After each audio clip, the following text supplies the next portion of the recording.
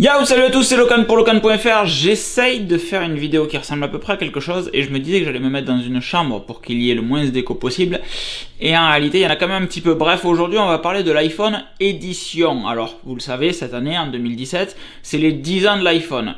Donc, l'iPhone est censé être absolument fabuleux. Apple est censé plancher sur des trucs fantastiques qui vont faire rêver tout le monde. Ça va être de l'art extrême, ça va être fabuleux.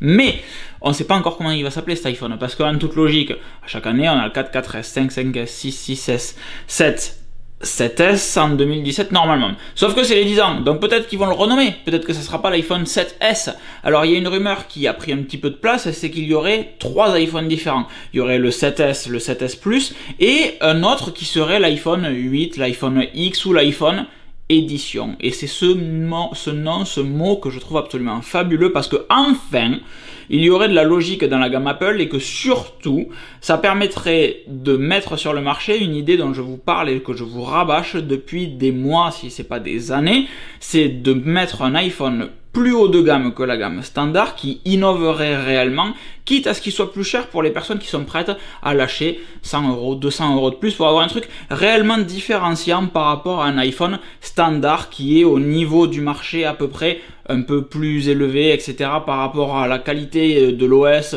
à la qualité des matériaux, etc. Si vous voulez, bref, c'est même pas le débat. Mais en termes de qualité, on est standard. L'appareil photo de l'iPhone, je crois que chez DxO, il est classé troisième. En 1, il y a le Google Pixel. En 2, il y a un Samsung. Et en 3, il me semble que uniquement arrive l'iPhone. Donc, ça serait vraiment bien qu'Apple puisse sortir un iPhone plus cher, mais sur lequel il se lâche en recherche et développement, sur lequel il se lâche réellement sur les performances, sur l'esthétique, pourquoi pas, etc.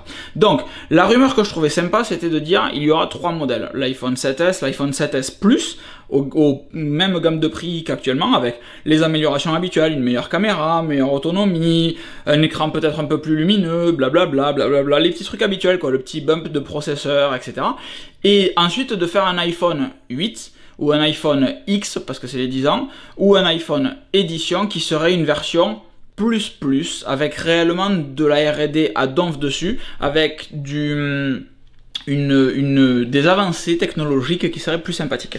Pourquoi est-ce que je kiffe le nom iPhone Edition? Je suis désolé, ça bouge, mais je vous tiens à bout de bras et ça fait un moment que j'avais pas fait cet exercice. Euh, pourquoi est-ce que je kiffe l'iPhone Edition? Tout simplement parce que ben, il y a déjà les Apple Watch Edition. L'Apple Watch Edition, c'est le modèle haut de gamme des Apple Watch. Alors, techniquement, elle n'est pas meilleure, mais esthétiquement, elle l'est peut-être que ça sera le cas de l'iPhone euh, édition, je pense pas d'après ce qui sort et j'y reviens dans deux secondes, mais l'idée c'est d'avoir un contenant qui est plus euh, sympathique que la version standard entre guillemets l'Apple Watch Sport, l'Apple Watch acier. L'Apple Watch édition au début elle était en or massif. Euh, il y avait de l'or rose, il y avait de l'or jaune et c'était une putain de montre. maintenant l'Apple Watch édition elle est en céramique blanche j'ai tendance à penser que si Apple travaille la céramique, c'est aussi parce qu'ils vont travailler la céramique un petit peu plus tard sur d'autres produits. Souvenez-vous, le petit truc qui servait à éjecter votre carte SIM, et eh bien en fait c'était du liquide métal. C'était une phase de test pour voir ce qu'ils arrivaient à faire avec du liquide métal, avec de l'unibody, etc. Euh, avec de l'unibody, pas de liquide métal.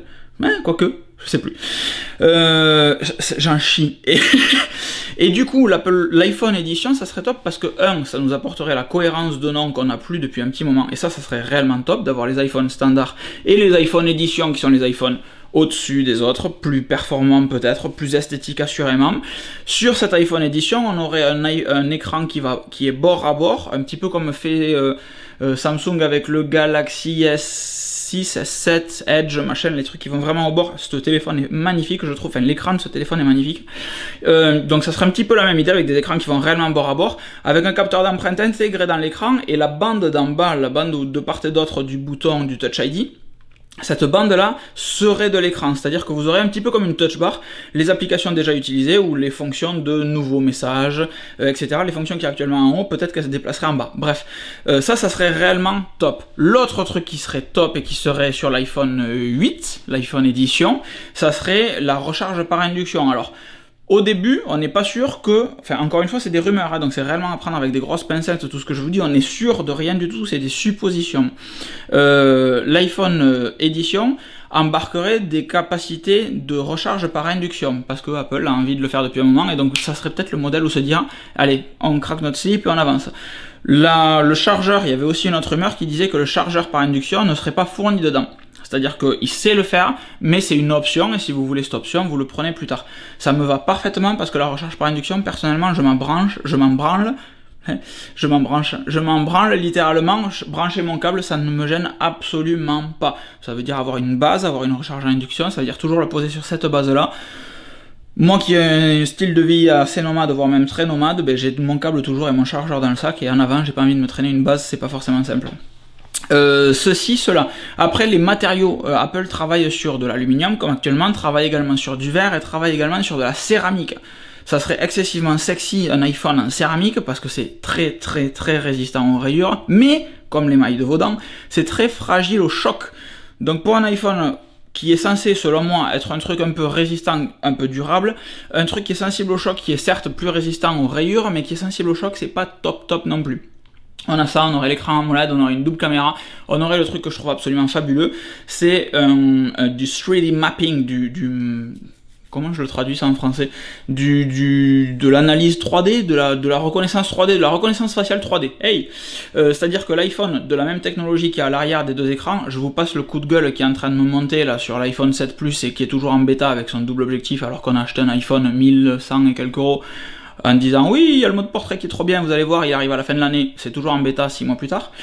Euh, et, hum, et, donc du coup, il y aurait euh, du 3D mapping également sur les caméras de façade, c'est-à-dire que le téléphone saurait vous reconnaître de la même manière qu'il sait vous déverrouiller avec Touch ID. En prenant juste le téléphone avec le Raise to Wake, il saurait automatiquement reconnaître le visage et paf, si c'est vous qui tenez le téléphone, se déverrouiller. S'il n'y arrive pas, eh vous faites un Touch ID comme vous faites jusqu'à maintenant. Et si Touch ID ne marche pas, la solution de repli restera toujours le code. Je trouve ça très sexy d'avoir une solution ultra facile, ultra confortable, une solution un peu toujours aussi sécurisée mais plus euh, plus, plus contraignante, entre guillemets, il faut mettre le doigt sur l'écran, et la troisième solution qui reste de taper le code. Bref, je suis très fan du concept même d'iPhone Edition, du nom d'iPhone Edition, et du fait que, dans le temps, Apple se dise, autant j'achète pas une Apple Watch Edition, ça m'intéresse pas, euh, autant l'iPhone Edition est clairement un produit qui pourrait m'intéresser parce que je passe ma vie dessus, et d'avoir un iPhone au-dessus des autres, plus performant, qui réellement a 6 mois, un an d'avance sur le reste du marché des smartphones, oui, c'est pour ça que j'ai acheté un iPhone à la base, c'est pour ça que je reste sur les iPhones également, parce que c'est plus stable, mais on est juste au niveau du marché machin. Alors que j'aimerais réellement avoir le produit comme le premier iPhone, où je sors mon téléphone et j'ai réellement la sensation d'avoir un putain de bon produit, un super truc en avance sur les autres téléphones. Donc je suis très fan de ce concept d'iPhone Edition. J'espère vraiment qu'Apple le gardera, pas forcément pour cette année. Encore une fois, on sait même pas si ça arrivera, hein, je divague là. Euh, j'espère vraiment qu'Apple le gardera, l'implémentera déjà cette année pour l'iPhone 10 euh, ans, et surtout le gardera pour les générations futures de dire bon ben voilà, on fait payer un petit peu plus cher pour que les gens aient un truc de R&D qui n'arrivera pour les autres que l'année prochaine. Je suis très fan de ce concept, faites-le s'il vous plaît. Moi je vous fais des gros bisous, je vous dis à très vite. Ciao ciao